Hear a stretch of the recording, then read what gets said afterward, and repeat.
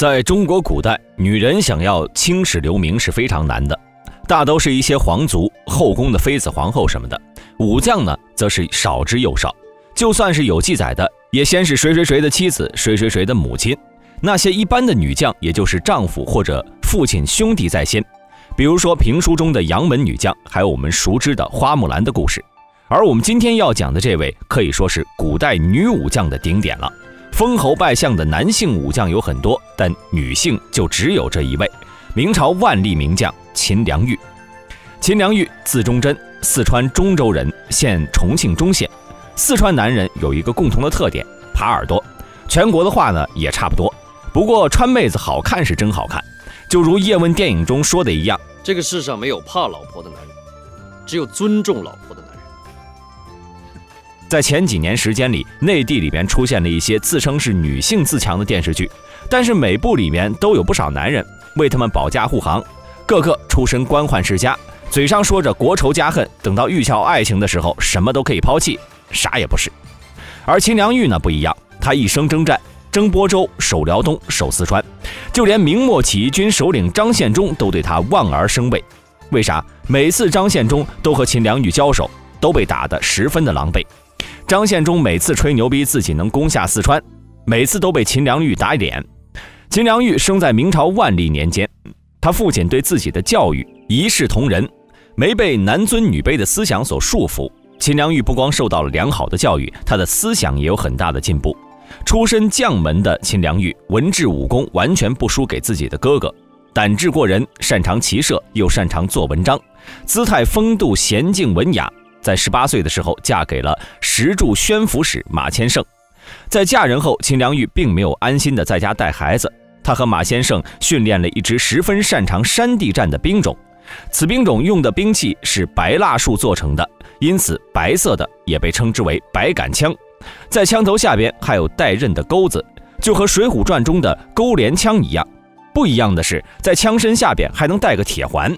上能戳能勾，下边的铁环还能当做击锤武器。必要的时候，白杆枪还能连在一起，变成爬山的工具。这让他们在遇到难以攀登的山地的时候，行动要比一般的兵种要快得多，非常适合山地作战。虽然他们这支白杆兵部队只有几千人，但是在明朝末年的多次战役中都表现得十分优异。第一次表现就是在万历三大征之一的播州之役。白杆军在秦良玉、马千成的带领下表现得十分优异。万历二十六年，播州宣抚使杨应龙勾结当地的苗族部落，举兵反叛，围攻成都。他们靠着播州地势险要，十分的猖獗。成都城内守军只能等待救援。朝廷派李化龙为总督，统帅川贵湖广等地的精兵，合力围剿杨应龙。白杆军就在其中，因为装备特殊和长期严格的山地训练。秦良玉和马先成在播州打得十分漂亮，播州的崇山峻岭就是给白杆军架设的舞台。不管山多高多险，白杆军总是能够出奇制胜。叛军每次都被打得狼狈逃窜，到一个看似安全险要的地方休息的时候，白杆军就杀出来了。秦良玉每次作战都身先士卒，把周围士卒搞得都害怕了，因为他打起仗来比男性将士还要猛。他的身材不像我们现在电视剧、电影中演的那样。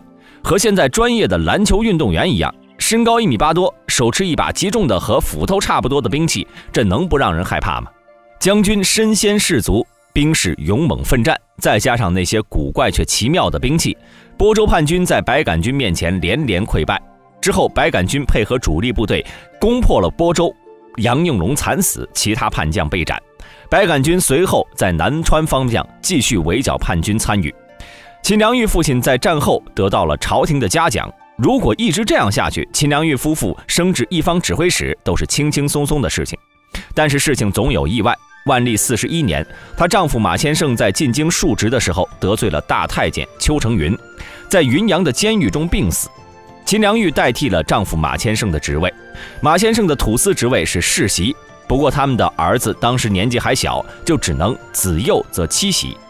秦良玉十分的艰苦。强忍着失去丈夫的苦处，继续训练白杆军。只要朝廷需要，她便披挂上阵。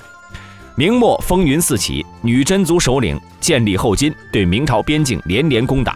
之后的萨尔浒之战，明军惨败，东北告急。努尔哈赤领兵围攻沈阳，明朝廷为了摆脱当前的困境，在全国范围内征集军队救援辽东。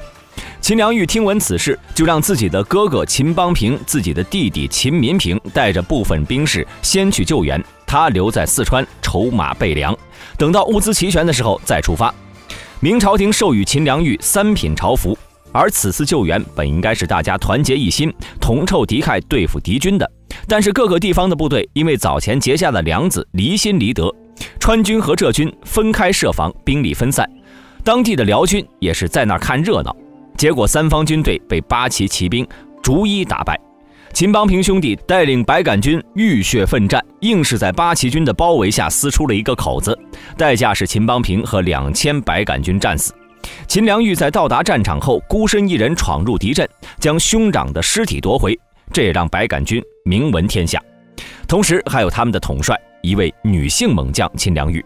川军猛，果然从古代就是开始的。秦良玉将军情报告朝廷，明熹宗下诏秦良玉二品官服，并封为号命夫人。其子马祥林为指挥使，并赐战死的秦邦平为都督检事，并且子孙世袭。同年九月，兵部让秦良玉回乡征兵，正好赶上了宣抚使佘崇明在重庆造反。佘崇明令手下带着金银丝绸去找秦良玉结盟，他知道秦良玉的厉害，如果秦良玉想要干掉他，还是蛮轻松的。不过秦良玉可不吃这一套，将使者斩杀，领兵攻打在重庆的崇明。崇祯三年，清军围攻京都，崇祯皇帝下诏各地进京勤王。不过朝廷那个时候已经拿不出来军费了，秦良玉将家里的资产全部拿出来当做军费进京勤王。秦良玉如前次援辽的时候一样，率领白杆军身先士卒，杀在最前列。在战役胜利后，受到了崇祯皇帝的召见，并且赋诗四首表彰秦良玉的功绩。皇太极退兵后，秦良玉回到四川。崇祯七年，起义军首领张献忠攻打川东夔州，年过六旬的秦良玉率兵救援。他刚到，张献忠就跑了。